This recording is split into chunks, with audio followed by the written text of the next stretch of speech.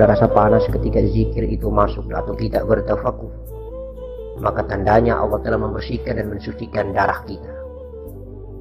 Apabila kita merasakan dingin, maka tandanya Allah telah membersihkan dan mensucikan daging kita. Apabila kita merasakan seperti tertikam, tertusuk-tusuk, seperti jarum yang menusuk, sejuk, masuk, menyengat, maka tandanya Allah telah membersihkan dan mensucikan tulang kita.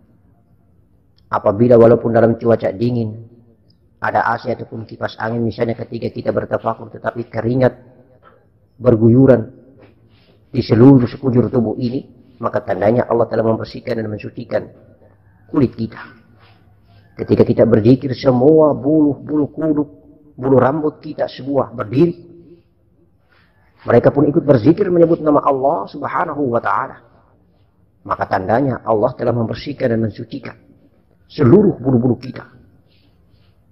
Maka tandanya Nur Muhammad melalui hawa-hawa rabania telah menyinggahi semua elemen batang tubuh kita. Kalaupun kita ada rasa sakit di dada, rasa panas, maka tandanya Allah telah membersihkan dan mensucikan kotoran-kotoran yang berdosa yang ada di sekitar dada. Kalaupun rasa dingin sejuk menyengat masuk di area dahi, maka daging daripada kepala ini dibersihkan dan disucikan. Agar otak ini tidak lagi berpikiran maksiat. Agar otak ini berpikiran jernih, bersih dan suci, fana di dalam zat Allah subhanahu wa ta'ala. Tetapi kalau ada dingin dan sejuk masuk melalui ubun-ubun kepala itu khatar. Itu tandanya ilham ilahiyah. Allah telah menurunkan waridnya. Hasil olahan zikrullah. Hasil olahan zikr. Hasil olahan menyebut nama Allah. Memuji dan menyanjung. Maka Allah membalasnya dengan warid. Melalui pintu yang paling tinggi kedudukannya yaitu di ubun-ubun kepala. Seperti dikujurkan air yang sejuk, dingin menyengat. Nikmat terasa insya Allah. Maka pandanglah, terimalah, bersahwah sangkalah selalu baik kepada Allah. Karena Allah tergantung sangkaan hambanya. Allah berfirman dalam hadis kucinya seperti itu. Aku tergantung sangkaan hamba. Dan semua peristiwa sakit, panas, dingin adalah merupakan pembersihan dan pencucian melalui media rasa untuk itu maka sepanjang kita hidup di atas muka bumi, ketika kita masih mengkonsumsi makanan, minuman bumi, ketika batang tubuh masih berkelana di atas punggung bumi, maka hawa-hawa bumi akan melingkupi, akan menyelimuti seluruh elemen dan unsur batang tubuh, seluruh elemen dan unsur latifah-latifah yang hakikat hawa alam semesta raya maya pada ini adalah bersumber daripada hawa mikrokosmos yang bersumber daripada anasir batang tubuh yaitu anasir api, anasir angin, anasir air dan anasir tanah. Maka insya Allah ingat baik-baik wahai anandaku, bunda dan ayahandaku semua. Ketika kita mau meninggalkan dunia nanti, Allah akan mengeluarkan dan mendatangkan semua anasir itu. Ada rasa panas, kemudian air keringat meleleh, ada rasa dingin. Di sekitar kita, kita akan memberikan perintah kepada keluarga untuk selalu berkipas-kipas di pinggir kiri dan pinggir kanan kita. Karena semua asal muasal diri kita dari unsur api, angin, air, dan tanah akan datang. Dari ujung rambut kepala ini, tiba-tiba seperti ada pasir yang begitu banyak yang keluar dari kepala. Insya Allah, itu unsur tanah. Dan kalau sampai ada keringat yang keluar, bening, lalu kita jilat, kemudian kita tidak merasakan ada rasa pun apa-apa lagi, kecuali hanya ada rasa tawar, maka insya Allah itulah keringat asli. Itulah asal anasir air asli dari batang tubuh ini. Tidak lama lagi, kita sudah mau meninggalkan dunia. Maka jangan jauh-jauh ketika keluarga kita mau meninggalkan dunia. Berada di sampingnya agar kita tahu tentang perjalanan pengalaman jalan pulang. Agar kita tahu isyarat dan tanda ghaibiyah tentang bagaimana caranya kita jalan pulang. Agar kita berintrospeksi dan diingatkan tentang tanda-tanda ghaibiyah yang ada pada diri kita.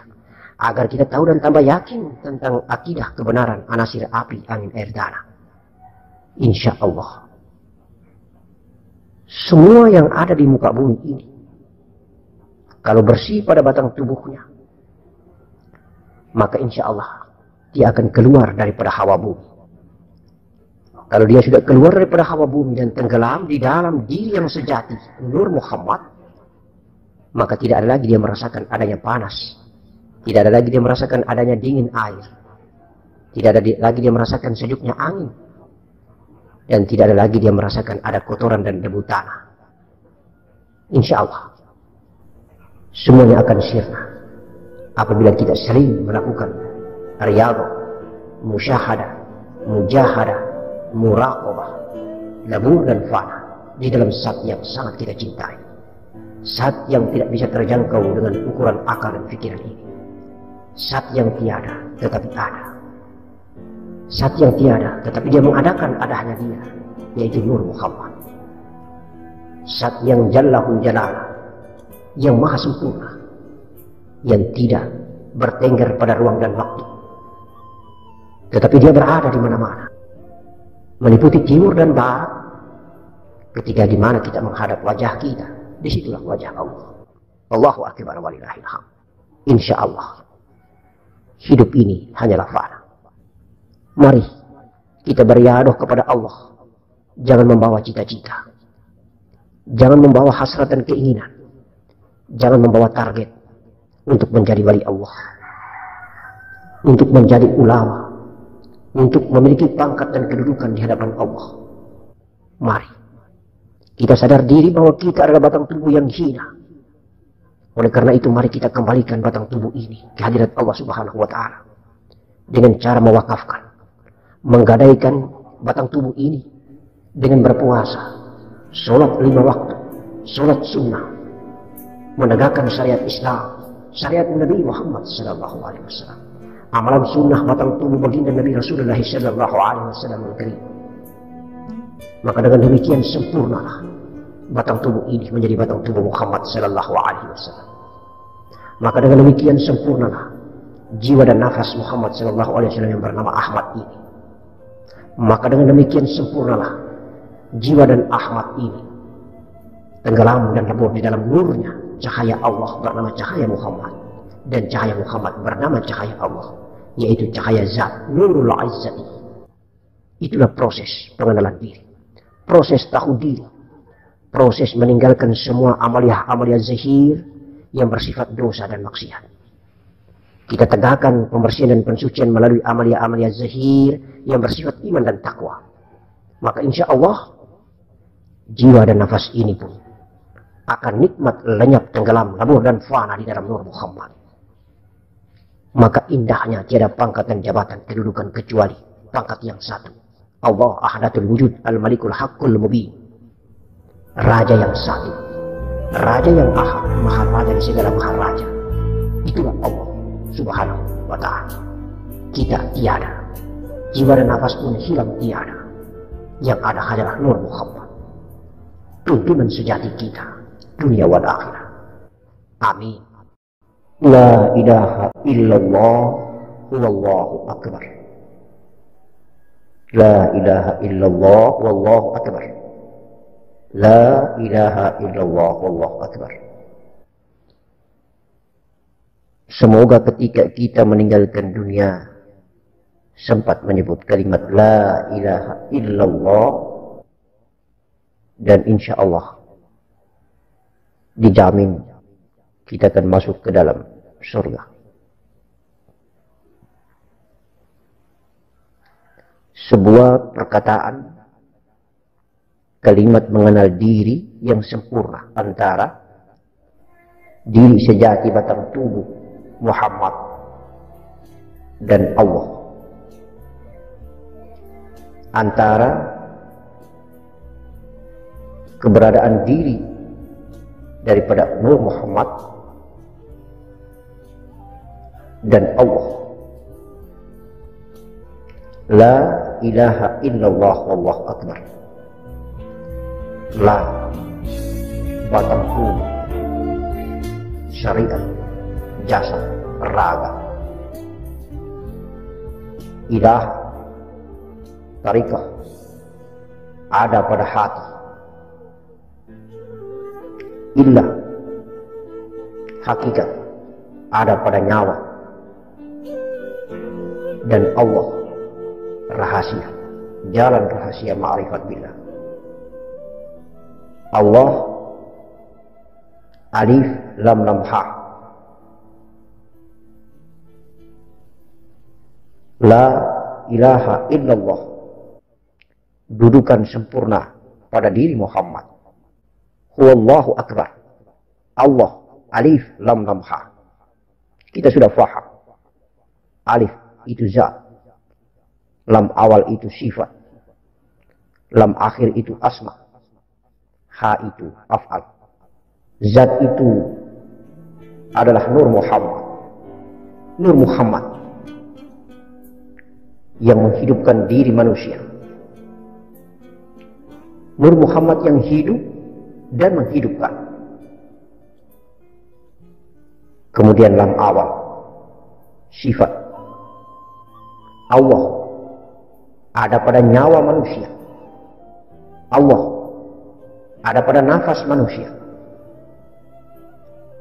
Jiwa dan Nur Muhammad bersatu, maka menjadi nyawa.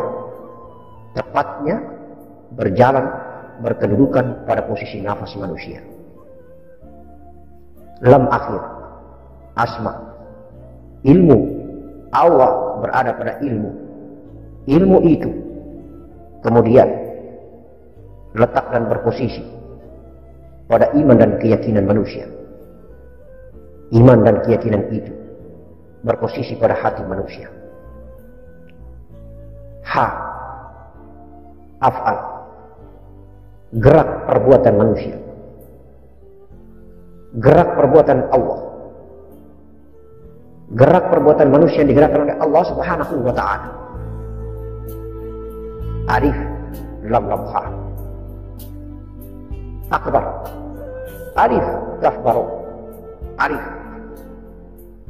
Jati diri Allah Kaf Ilmu Allah Ba Gerak Allah Roh Kehendak Allah Subhanallah La ilaha illallah Allahu Akbar Antara Allah dan kedudukan diri Muhammad. Antara diri Muhammad dan Allah. Antara Allah dan kedudukan diri Muhammad. Itulah la ilaha illallah wallahu akbar. Biarlah perjalanan pulang kita. Biarlah saat kita kembali perlahan-lahan kita akan menyatu fana hilang lenyap dari la tenggelam dan fana lenyap ke dalam ilah ke dalam ilah, ke dalam Allah, ke dalam akbar, ke dalam ro, ro tenggelam ke dalam ba, ba tenggelam ke dalam kaf, kaf tenggelam ke dalam alif. Subhanallah. Allahu akbar walillahil hamd. Ya Allah ya Karim. Semoga kita berproses jalan pulang sesuai dengan datangnya Semoga kita berproses jalan. Sesuai dengan kehendak. Semoga kita proses jalan pulang. Sesuai dengan ilmunya, asmanya. Sesuai dengan sifatnya. Sesuai dengan zatnya. Allahumma salli ala Sayyidina Muhammad. Wa ala ali Sayyidina Muhammad. Ya Allah. Telah engkau anugerahkan kami dengan kemuliaan Nur Muhammad dan telah engkau muliakan kami dengan anugerah hadirnya Nabi kami Muhammad sallallahu alaihi wasallam. Muhammad bin Abdullah bin Abdul Muttalib. Sempurnalah induk daripada segala jasa. Sempurnalah induk daripada segala jiwa dan nafas. Sempurnalah induk daripada segala nur. Cahaya di atas cahaya. Itulah diri. Cahaya Allah, cahaya Muhammad. Di dalam cahaya Muhammad ada cahaya Allah. Nur Allah, Nur Muhammad. Nur Muhammad di dalam Nur Allah. ruh Allah Muhammad. Ruh Muhammad di dalam ruh Allah. Kun fayakun. La ilaha illallah wallahu akbar. La ilaha illallah wallahu akbar. La ilaha illallah wallahu akbar. Allahu ahad. Ahadatul wujud. Inna lillahi wa inna ilaihi raji'un. Darimu kami datang. Darimu kami berasal darimu pula kami akan lenyap dan fana di dalam diri. Engkau tiada berhuruf dan tiada berhuruf la hurufun wala sawt insyaallah. Semoga fikir akal angan-angan otak fantasi imajinasi kita lebur dan hancur tenggelam di dalam satu di dalam kehendak di dalam iradat di dalam ilmu di dalam iman di dalam yakin di dalam hati. Insya Allah bergerak seperti arus yang bergerak bergelora membahana berjalan bertati-tati di dalam lautan samudra yang luas. Maka insya Allah kita akan merayap senyap. Tiada terkira jauh tidak berjarak dekat menjadi tiada.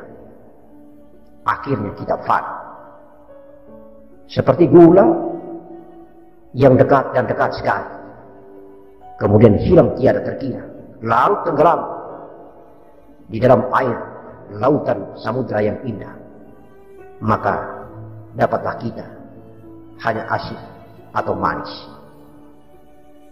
pahit atau pedis itulah hakikat daripada syariat. Itulah inti isi daripada kulit tetapi jangan sekali-kali engkau tinggalkan kulitmu. Sebab apabila engkau tinggalkan kulitmu maka pasti berbau busuk. Jadikanlah kulitmu itu sebagai pakaian yang indah.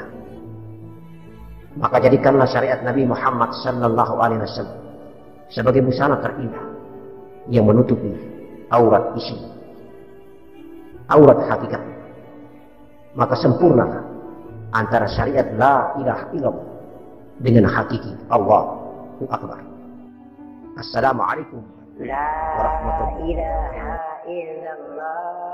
محمد رسول الله لا إله إلا الله محمد رسول الله لا إله إلا الله محمد رسول الله